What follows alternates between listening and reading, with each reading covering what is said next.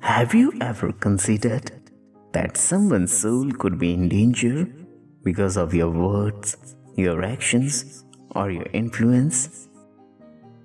The Holy Spirit is urging you to take a moment and reflect on your interactions with others. Are you building them up or are you tearing them down? Are you leading them closer to God or are you pushing them away? Type yes if someone is upset with you currently.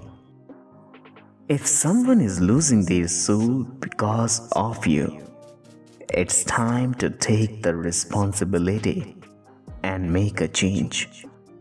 Pray for guidance and ask the Holy Spirit to reveal to you areas where you need to improve.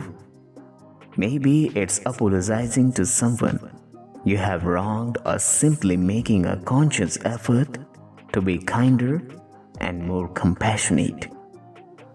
Remember that your words and actions have power and you have the ability to use that power for your good.